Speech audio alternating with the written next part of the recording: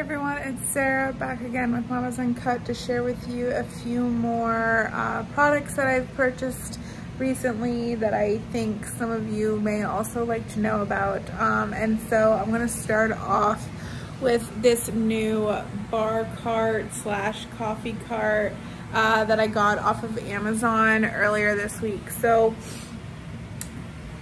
you know, you can see my original bar cart in past videos but I wanted something a little bit bigger that can hold, you know, as I'm getting older and accumulating more stuff, I needed like more space to hold everything. This bar cart allows for everything to have its own space. And so it's really now functional as a coffee cart and a bar cart.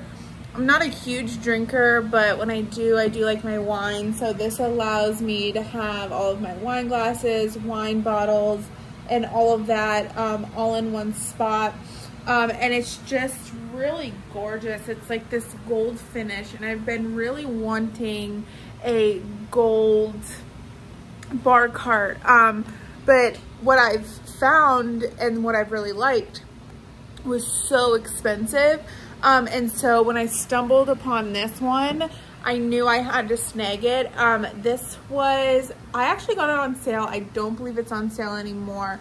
Um, but right now it's $150, which is a better price than I've seen for something of this size with wheels, a gold finish.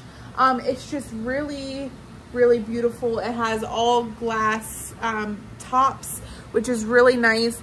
Um, it comes disassembled, so you, you do have to assemble this. I did it myself. It took me all of like 20 minutes to put it together. Um, and so, yeah, uh, it has a little wine glass holder here, which is really nice. I use this top shelf for all of my coffee um, mugs and then all of my coffee stuff is up here, my two coffee makers, um, the syrups that I use regularly. And then down here, this also comes with a spot that it's like a grid. So you can put more wine bottles in this area if you want to.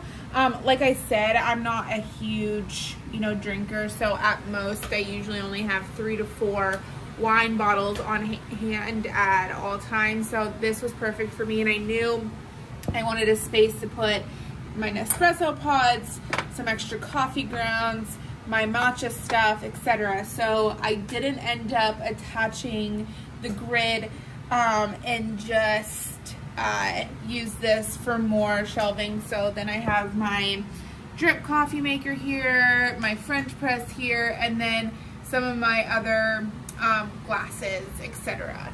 And so yeah, I just wanted to share that with you guys. Like I said, it was $150, a great deal for a gold bar card of this size.